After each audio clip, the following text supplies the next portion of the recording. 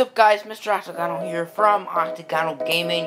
Now, I have a not super important channel update, but there are a few things I want to talk about on the channel.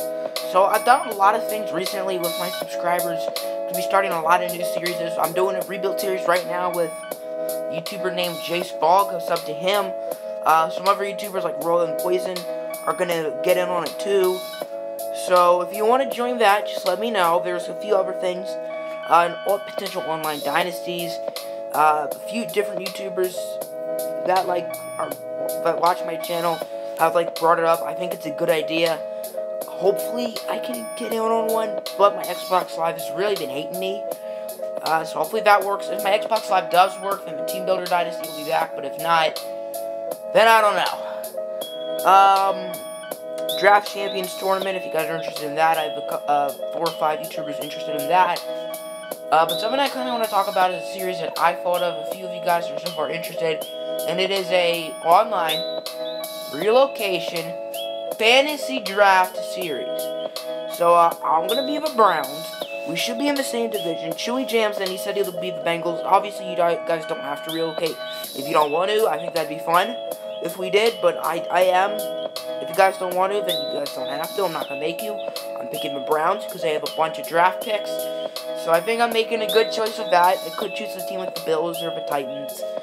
But I want to go with the Browns because the Browns have so many picks. It's ridiculous. Um, so just let me know if you guys are interested in that. I think I'd like to start that this weekend. I think that'd be pretty cool. Uh, also, for like the NFL draft, like if you can't make it, it's fine if you make a draft board. Like if you don't have picks, then it doesn't really matter if you make it. But if you do, if you want to make picks, then you just make a draft board. For the fantasy draft, there isn't really a draft board, so if you can't make it, then um, you're just gonna have to choose one of the teams picked. Uh, I would stream it, but uh, yeah, I can't because uh, the next thing we're gonna talk about that is the community guideline thing. I got hit with a community guideline strike last weekend because the PlayStation wasn't working, so I tried to restart the stream. Boom, unwanted spam. Makes no sense. I was not intending to create quote unquote unwanted spam, and I was not quote unquote intending to kick people off the site. That's what the email I got said.